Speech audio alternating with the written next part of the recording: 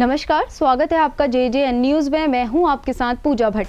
हल्द्वानी जिला प्रशासन और नगर निगम हल्द्वानी काठ गोदाम ने प्रतिबंधित सिंगल यूज़ प्लास्टिक के खिलाफ आज गुरुवार से एक बार फिर अभियान शुरू कर दिया है। सिटी मजिस्ट्रेट रिचा सिंह और नगर आयुक्त पंकज उपाध्याय के नेतृत्व में जिला प्रशासन और नगर निगम की संयुक्त टीम ने बरेली रोड नवीन मंडी में प्रतिबंधित सिंगल यूज़ प्लास्टिक के खिलाफ छापेमारी की। टीम ने छापेमारी के दौरान भारी मात्रा में प्रतिबंधित सिंगल यूज़ प्लास्टिक बरामद किया। वहीं सिटी मजिस्ट्रेट रिचा सिंह का कहना है कि प्रतिबंधित सिंगल यूज़ प्लास्टिक पर लगातार अभियान जारी है। इसलिए दुकानदारों और जनता से अपील की जाती है कि प्रतिबंधित सिंगल यूज़ प्लास्टिक का उपयोग करना बंद करें।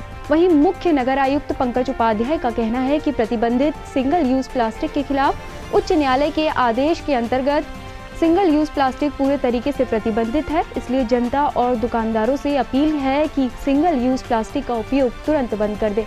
बीते दिनों कुमाऊं कमिश्नर दीपक रावत ने शहर का पैदल भ्रमण किया। काफ़ी दुकानदारों को प्रतिबंधित सिंगल यूज़ प्लास्टिक उपयोग करते हुए पाया था, जिसके बाद कमिश्नर ने सिटी मजिस्ट्रेट और नगर आयुक्त को प्रतिबंधित सिंगल यूज़ प्लास्टिक के खिलाफ अभियान चलाने के निर्देश दिए थे। फ़िलहाल हमारे इस खबर में इतना ही। बाकी की तमाम खबरों के लिए आप देखते रहिए जे जे न्यूज़। धन्यवाद।